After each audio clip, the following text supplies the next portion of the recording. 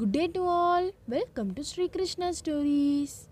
Let's hear what today's story is about. Venkata Subbaya, the one you wanted to meet and sang song for is me, said Kannan. A simple story to explain. Let's learn more.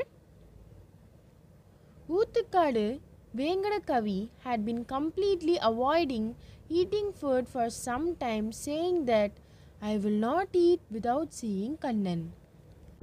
Due to this, his body became thin, his eyes became swollen, and the vision started to fade. He was not even able to do pradakshina. He completed a pradakshina through his knee with great difficulty. He was unable to perform the next pradakshina. He felt that his soul was parting today. He thought for a while about what to sing and then without delay he started singing Alaipayuthe Kanna. The song was nearing completion. Whenever you listen to this song from now on, listen to the words that come with this feeling.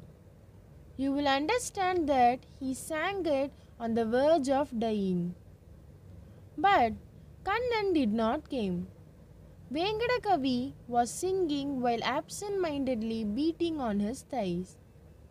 Suddenly, the smell of Javadu, the fragrance of Nagalinga flower, and cold air started to hit his skin. At that moment, his vision was completely lost. But he didn't stop singing.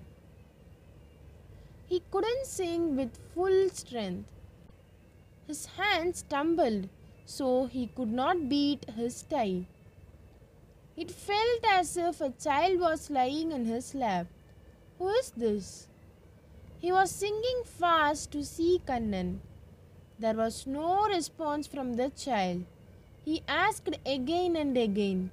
Somewhat embarrassed by lack of response, he pushed the child down.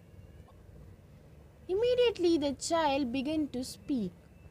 Lord Venkata the one whom you wanted to meet and the one you are singing for is me. Seeing Kannan without the power to even fall on his feet, Kanna, you did not appear during the period when all my organs were functioning properly. Now you have come after my physical strength and mental strength are totally drained. He asked.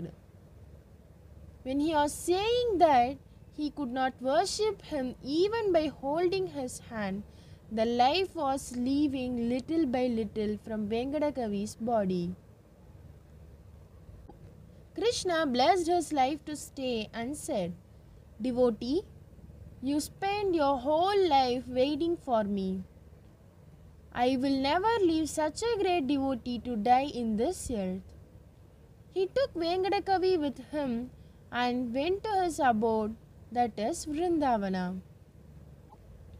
Song Alaipayuthe Kanna in Manamalipayude Unnananda Mogana Venu Ganamadilalaipa கண்ணாயின்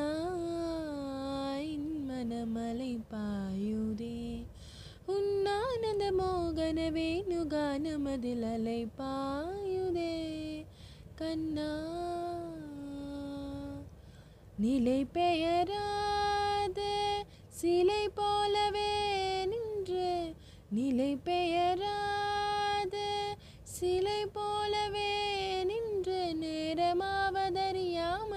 மிக வினோதமான முரளிதனையின் மனமலை பாயுதே.